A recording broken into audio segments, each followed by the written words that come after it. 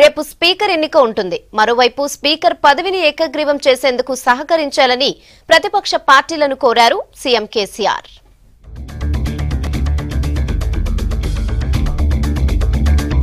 Assembly సమావేశాలకు అంతా సిద్ధమైంది.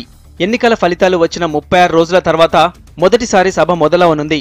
నాలుగు రోజుల పాటు జరగనున్న సమావేశాల్లో ఇవాళ ఎమ్మెల్యేలు ప్రమాణ స్వీకారం చేయనున్నారు. ఇందుకోసం ఎంఐఎం ఎమ్మెల్యే ముంతాజ్ అహ్మద్ ఖాన్ను ప్రొటెం స్పీకర్గా నియమించింది ప్రభుత్వం.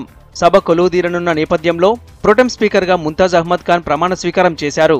రాజ్భవన్ దర్బార్ హాల్లో గవర్నర్ ముంతాజ్ చేత ప్రమాణ స్వీకారం చేయించారు. కార్యక్రమానికి హాజరైన సీఎం కేసీఆర్ హోంమంత్రి మెహమూద్ అలీ అహ్మద్ ఖాన్కు శుభాకాంక్షలు తెలిపారు.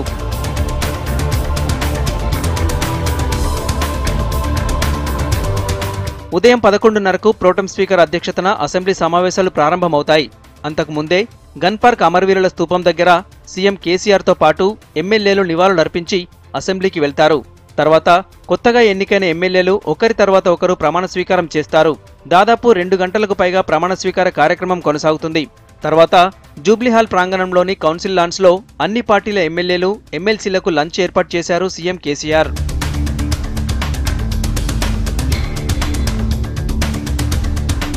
ఇవాళే స్పీకర్ ఎన్నిక షెడ్యూల్ ప్రకటన నామినేషన్ ప్రక్రియ ఉంటుంది. సంఖ్యాబలం టీఆర్ఎస్ పార్టీకి ఎక్కువగా ఉండడంతో అధికార పార్టీ నుంచే నామినేషన్ దాఖలు కానుంది. పద్దెనిమిదిన సభ ప్రారంభం కాగానే స్పీకర్ ఎన్నిక కార్యక్రమం ఉంటుంది. ఆ తర్వాత కొత్తగా ఎన్నికైన స్పీకర్ గురించి సీఎం ప్రతిపక్ష నేతలు మాట్లాడతారు.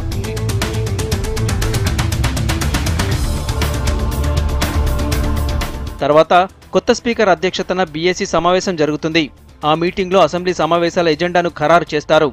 శనివారం గవర్నర్ ఉభయ సభలను ఉద్దేశించి ప్రసంగిస్తారు. ఆదివారం కూడా అసెంబ్లీ సమావేశాలు జరగనున్నాయి. ఆ రోజు గవర్నర్ ప్రసంగానికి ధన్యవాదాలు తెలిపే తీర్మానం ప్రవేశపెడతారు. దానికి సభ ఆమోదం తెలుపుతుంది. అదే రోజు శాసన మండలిలో గవర్నర్ ప్రసంగానికి ధన్యవాద తీర్మానాన్ని ఆమోదిస్తారు.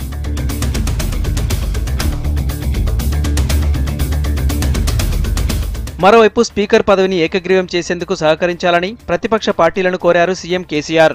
పీసీసీ అధ్యక్షుడు ఉత్తమ్ కుమార్ రెడ్డి బీజేపీ అధ్యక్షుడు లక్ష్మణ్తో పాటు ఎంఐఎం నేత అసదుద్దీన్ ఓవైసీతో ఫోన్లో మాట్లాడారు. సీఎం ప్రతిపాదనకు బీజేపీ ఎంఐఎం వెంటనే అంగీకారం తెలుపగా పార్టీలో చర్చించి నిర్ణయం తెలుపుతామన్నారు ఉత్తమ్ కుమార్ రెడ్డి.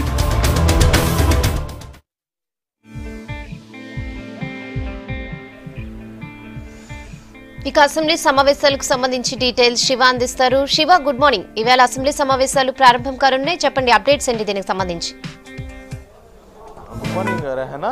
అసెంబ్లీ సమావేశాలు పదకొండున్నరకు ప్రారంభం కాబోతున్నాయి. అంతకన్నా ముందు గన్ పార్క్ దగ్గరికి సీఎం కేసీఆర్తో పాటు టీఆర్ఎస్ ఎమ్మెల్యేలందరూ కూడా గన్ పార్క్ దగ్గర అమరవీరుల స్థూపం దగ్గర నివాళులు అర్పిస్తారు టీడీపీ ఎమ్మెల్యేలు కూడా గన్ పార్క్ అమరవీరుల స్థూపం దగ్గర నివాళులు అర్పించి అక్కడి నుంచి అసెంబ్లీకి రాబోతున్నారు. మొత్తం ఇప్పటి వరకు నాలుగు రోజుల పాటు అసెంబ్లీ సమావేశాలు నిర్వహిస్త నిర్వహించబోతున్నారు. ఈ రోజు రేపు ఎల్లుండి సండే ఆదివారం రోజు కూడా అసెంబ్లీ సమావేశాలు నిర్వహించబోతున్నారు. ఈరోజు protem speaker protem speaker Mumtaz నేతృత్వంలో స- సభ సమావేశాలు ప్రారంభం కాబోతున్నాయి లెవెన్ థర్టీకి. ఎమ్మెల్యేలందరూ కూడా లెవెన్ ఓ క్లాక్ లోపే ఇక్కడికి చేరుకునే అవకాశం కనిపిస్తుంది. ఈ సభలో కొత్తగా ఇరవై ఏడు మంది ఎమ్మెల్యేలు కొత్తగా ఈ అసెంబ్లీలోకి అడుగుపెట్టబోతున్నారు. ఇరవై మూడు మంది కంప్లీట్గా శాసన సభకు కానీ శాసన మండలికి శాసన వ్యవస్థకే కొత్త వాళ్ళు వాళ్ళు ఇప్పటి వరకు అసెంబ్లీలో ఎప్పుడు అడుగుపెట్టలేదు. ఇంకో మరో ఇద్దరు ఎంపీలు ఇద్దరు ఎమ్మెల్సీలుగా ఉన్న వాళ్ళు ఎమ్మెల్యేలుగా ఎన్నికయ్యారు. మొత్తం ఇరవై ఏడు మంది కొత్త సభ్యులు శాసనసభలో అడుగుపెట్టబోతున్నారు. ఈరోజు ఎమ్మెల్యేల ప్రమాణ స్వీకారం ఉండబోతుంది. మెయిన్గా ఎమ్మెల్యేలతో చేత ప్రొడెన్ స్పీకర్ ముంతాజ్ అహ్మద్ ఖాన్ ప్రమాణ స్వీకారం చేయించబోతున్నారు. ఆ తర్వాత ఎమ్మెల్యేలందరికీ సీఎం కేసీఆర్ లంచ్ మధ్యాహ్న విందు ఏర్పాటు చేశారు. శాసనసభ శాసన మండలి శాసన మండలిలోని కౌన్సిల్ హాల్లో అన్ని పార్టీల సభ్యులకు ఇప్పటికే ఆహ్వానాలు అందించారు. సీఎం కేసీఆర్ కూడా వాళ్ళతో కలిసి లంచ్ చేయబోతున్నారు. ఎమ్మెల్యేలకు ఎమ్మెల్సీలకు అన్ని పార్టీల ఎమ్మెల్యేలకు అన్ని పార్టీల ఎమ్మెల్సీలకు ఇప్పటికే ఆహ్వానం అందింది. వాళ్ళందరూ కూడా మధ్యాహ్నం ఒంటి గంటకు లంచ్లో పార్టిసిపేట్ చేయబోతున్నారు. ఇంకా అంతకన్నా ముందే స్పీకర్ ఎన్నికకు సంబంధించిన నోటిఫికేషన్ వెలువడబోతుంది ఇప్పటికే నోటిఫికేషన్ సంబంధించి ప్రిపరేషన్ పూర్తయింది. అసెంబ్లీ అధికారులు పూర్తి చేశారు. పదకొండున్నరకు అసెంబ్లీ ప్రారంభం కాగానే నోటిఫికేషన్ రాబోతుంది. స్పీకర్ ఎన్నికకు సంబంధించి ఇప్పుడు అధికార పార్టీకే పూర్తి బలం ఉంది. దాదాపు తొంభై మంది ఎమ్మెల్యేల బలం ఉంది కాబట్టి అధికార పార్టీకి సంబంధించిన స్పీకర్ ఏకగ్రీవంగా ఎన్నుకోబోతున్నారు. ఏకగ్రీవం కావాలని ఇప్పటికే కేసీఆర్ ప్రయత్నాలు చేస్తూ ఉన్నారు. అయితే ఇతర పార్టీలకు ప్రతిపక్షాలకు ఏ పార్టీకి కూడా సరిపోయినంత బలం లేదు స్పీకర్ ఎన్నికకు. కానీ సాంప్రదాయంగా అందరూ సపోర్ట్ చేయాలి. అందరి సపోర్ట్తోనే స్పీకర్ ఎన్నుకోవాలన్న ఒక ఉద్దేశంతో అన్ని పార్టీల నేతలతో ఇప్పటికే కేసీఆర్ ఫోన్లో మాట్లాడారు. బీజేపీ ఎంఐఎం సభ్యులు ఇప్పటికే ఒప్పుకున్నారు. కాంగ్రెస్ పార్టీకి కాంగ్రెస్ పార్టీ సంబంధించిన నేతలు ఇంకా డిసిజన్ తీసుకోలేదు. మరికొద్దిసేపట్లో సిఎల్పి మీటింగ్ జరగబోతుంది. ఆ సమావేశంలో స్పీకర్ ఎన్నికకు ఏ విధంగా వ్యవహరించాలి అనే అంశం పైన ఈ సిఎల్పి సమావేశంలో చర్చించి నిర్ణయం తీసుకుంటామని కూడా చెప్పారు. ఇంకా ఇప్పుడు బలం లేదు కాబట్టి రేపు జరిగే స్పీకర్ ఎన్నిక లాంఛనప్రాయమే అని చెప్పాలి. కేసీఆర్ మధ్యలో ఎవరున్నారు? కేసీఆర్ ఎవరిని ప్రతిపాదిస్తారు? స్పీకర్గా అనేది మాత్రం ఇప్పటివరకు ఇంకా సందిగ్ధంలోనే ఉంది. మధ్యాహ్నం పన్నెండున్నర ఒంటి గంట టైంకు కేసీఆర్ ఎవరిదో ఒక పేరును ప్రతిపాదించబోతున్నారు. ఇంకా ఎమ్మె ఎమ్మెల్యేలుగా ఉన్నవాళ్ళు పార్టీలో సీనియర్లుగా ఉన్నవాళ్ళు కొద్దిమంది పేర్లు స్పీకర్గా తెరపైకి పేర్లు వచ్చాయి కానీ కేసీఆర్ ఎవరిని ప్రతిపాదించబోతున్నారని మాత్రం ఇంతవరకు బయటికి తెలియలేదు. ఆల్మోస్ట్ మాజీ మంత్రి పోచారం శ్రీనివాస్ రెడ్డి పేరు మరో మరో మాజీ మంత్రి ఇంద్రకరణ్ రెడ్డి పేర్లు తెరపైకి వచ్చాయి. ఇద్దరు పేర్లు ప్రముఖంగా ఆ వినిపిస్తున్నాయి డిప్యూటీ స్పీకర్ పద్మనాథ్ దేవేందర్ రెడ్డి పేరు కూడా ఆ వినిపిస్తుంది. ఈ ముగ్గురులోనే ఒకరిని స్పీకర్గా ప్రతిపాదించవచ్చు కేసీఆర్ అని టీఆర్ఎస్ పార్టీకి సంబంధించిన నేతలు కూడా చెప్తున్నారు. మధ్యాహ్నం ఒంటి గంట టైంకు స్పీకర్ ఎవరో బయటికి తెలిసే అవకాశం ఉంటుంది. తర్వాత రేపు స్పీకర్ ఎన్నిక ఆ తర్వాత బీఎస్సీ సమావేశం ఉంటుంది. స్పీకర్గా ఎవరైనా స్పీకర్గా ఎన్నికైన తర్వాత వాళ్ళ మొదటి సమావేశం బీఎస్సీ సమావేశం అని చెప్పాలి. ఆ బీఎస్సీ సమావేశంలో అసెంబ్లీ ఎజెండాను ఖరారు చేయబోతున్నారు. అసెంబ్లీ ఎన్ని రోజులు నడవాలి? అసెంబ్లీలో ఏ రోజు ఏ ఎజెండాను అమలు చేయాలనే అంశంపైన బీఎస్సీ సమావేశంలో రేపు నిర్ణయం తీసుకోబోతున్నారు. ఇక ఎల్లుండి ఉభయ సభలను ఉద్దేశించి గవర్నర్ స్పీచ్ ఉండబోతుంది. శాసన మండలి సభ్యులు కూడా అసెంబ్లీకి రాబోతున్నారు. శాసన మండలి శాసనసభ సభ్యులను ఉద్దేశించి గవర్నర్ మాట్లాడబోతున్నారు. గవర్నరు గవర్నర్ ఈ ఐదు సంవత్సరాల ప్రభుత్వంలో రానున్న ఐదు సంవత్సరాల్లో ప్రభుత్వ పథకాలు ఏ విధంగా ఉండబోతున్నాయి? ప్రజల సంక్షేమం కోసం ప్రభుత్వం ఎలాంటి పథకాలు అమలు చేయబోతుంది?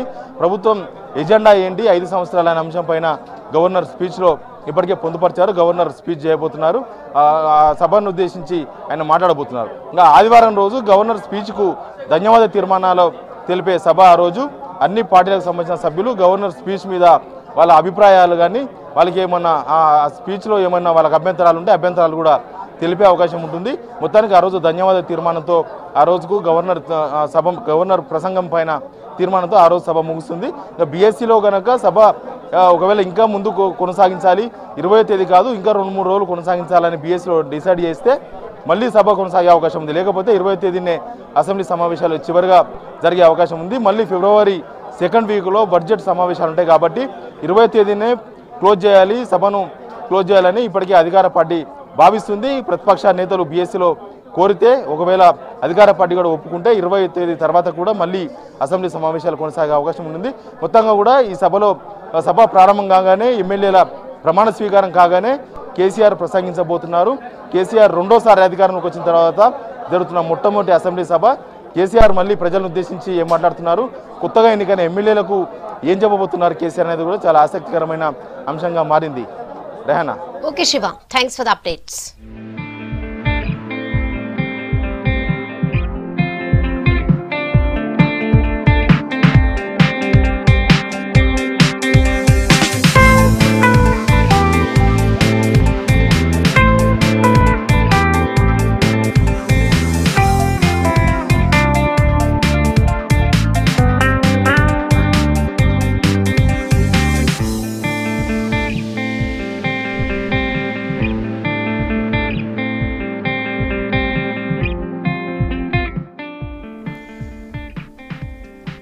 ప్రస్తుతం అసెంబ్లీ బలబలాల్ని చూస్తే టీఆర్ఎస్కు ఎనభై ఎనిమిది మంది సభ్యులున్నారు. ఖమ్మం జిల్లా వైరా నుంచి ఇండిపెండెంట్గా గెలిచిన రాములు నాయక్ అలాగే రామగుండం నుంచి గెలిచిన కోరుకంటి చందర్ కూడా టీఆర్ఎస్లో చేరారు. వీరి చేరికతో టీఆర్ఎస్ బలం తొంభైకి చేరింది. కాంగ్రెస్కు పంతొమ్మిది మంది ఎమ్మెల్యేలు ఎంఐఎం కు ఏడుగురు టీడీపీకి ఇద్దరు బీజేపీకి ఒక సభ్యుడున్నారు. రెండు వేల పద్నాలుగు ఎన్నికల్లో టీఆర్ఎస్ గెలిచిన సీట్లు అరవై మూడు. అయితే ఈసారి భారీగా సీట్లు దక్కించుకుంది టీఆర్ఎస్. ఇక కాంగ్రెస్ గతంలో ఇరవై ఒక్క స్థానాల్లో గెలిస్తే ఈసారి రెండు తగ్గి పంతొమ్మిదితో సరిపెట్టుకుంది. కాంగ్రెస్లో పెద్ద పెద్ద లీడర్లు ఇంటిబాటు పట్టారు. టీడీపీ ఈసారి భారీగా నష్టపోయింది. రెండు వేల పద్నాలుగులో పదిహేను సీట్లు గెలిచిన తెలుగుదేశం ఈసారి రెండు సీట్లతోనే సరిపెట్టుకుంది. ఎంఐఎం సీట్లలో గతానికి ఇప్పటికీ ఎలాంటి తేడా లేదు. బీజేపీకి భారీ నష్టమే జరిగింది. గత అసెంబ్లీలో కమలానికి ఐదు సీట్లుంటే ఈసారి ఒక్కటంటే ఒక్కటే దక్కింది. గత ఎన్నికల్లో మూడు సీట్లు గెలిచిన వైసీపీ ఈసారి ఎన్నికల్లో అసలు పోటీ చేయలేదు.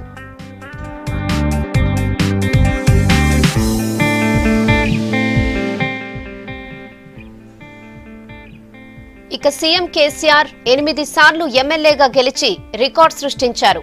ప్రస్తుతం అసెంబ్లీలోని ఎమ్మెల్యేల్లో ముఖ్యమంత్రి సీనియర్. వరుసగా ఎనిమిది సార్లు అసెంబ్లీకి ఎన్నికయ్యారు. కేసీఆర్ తర్వాత ఆరు సార్లు గెలిచిన నేతలుగా ముగ్గురు ఎమ్మెల్యేలున్నారు. ప్రస్తుతం protem speaker Mumtaz Ahmed Khan senior ఎమ్మెల్యేలు రెడ్డియా నాయక్ ఎర్రబెల్లి దయాకర్ రావులు ఆరు సార్లు ఎమ్మెల్యేలుగా గెలిచిన లిస్టులో ఉన్నారు.